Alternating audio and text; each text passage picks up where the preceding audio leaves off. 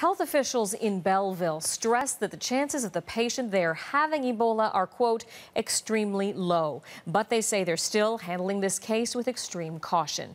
Dr. Dick Zoutman is the chief of staff for Quinte Healthcare, and he took part in that press conference earlier today in Belleville. Joining me now from Kingston, Ontario. Thank you so much for your time.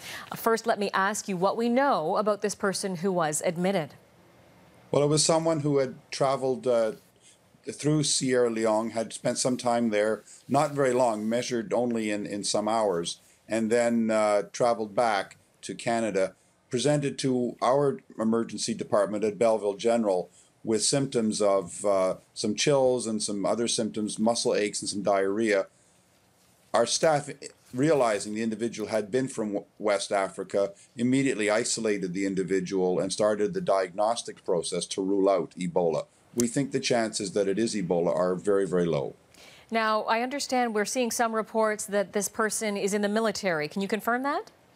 No, I can't at this time. We, you know, we're honoring the the patient confidentiality in that regard. Sure. Well, I know you're saying your hospital feels the chances of the person being admitted is extremely low of having Ebola. I wonder, as you look at what happened in Dallas and what we're hearing is a protocol breach, no one knows what it is yet. This nurse who got infected was wearing her full gear, still a mystery. I wonder how sure can you be that there wouldn't be something similar if, in fact, there was a case of Ebola in this, this particular case? Yes, we must be very, very vigilant. And uh, we've been doing a great deal of preparation at Quinte Healthcare around training our staff to manage this kind of exposure.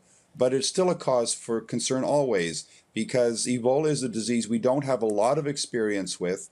Uh, we're using all of the recommended precautions, but we have to be extremely careful, particularly when taking all of the gear off, the protective equipment off. That, I think, is the moment that contamination can occur.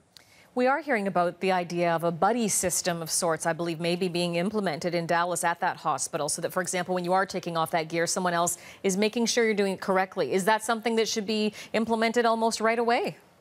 I think so. At Quinte Healthcare, that is part of our system. So if someone uh, is, is watching you take the gear off and saying, okay, now do this, now take that off, now clean your hands, and doing it in the right order. That we think is ideal. We also have a special ante room in front of the patient room where that event is occurring.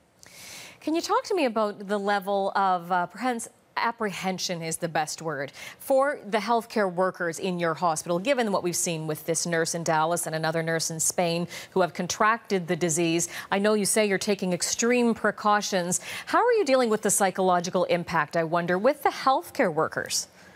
Well, the first is training and making sure that everyone has the equipment that they need, they know where it is and how to use it. Uh, and that's really basic and important.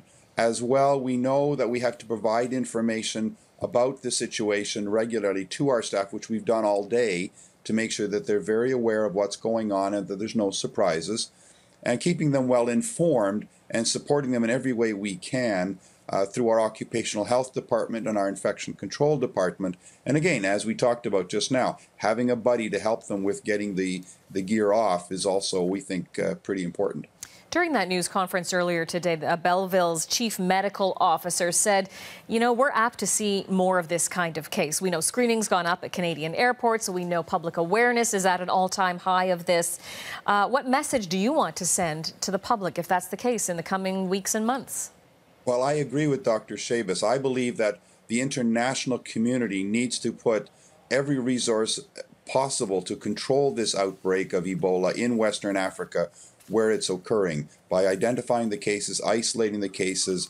Canada's played a, a, a big role. We need to play more of a role. And the international community needs to look at this very seriously and make sure that the funding, the billion dollars or so that the World Health Organization wanted to have in place, is in place that the people are on the ground in the right numbers in the right places to control the spread of this where it's happening. Doctor, just a final uh, question of clarification for you. When do we expect to have test results back uh, from the patient who was admitted to the hospital in Belleville? We're expecting them sometime tomorrow, and we will let everybody know what we get with those results. Okay, I really appreciate your insight on this. Thanks so much for your time today. My pleasure, anytime.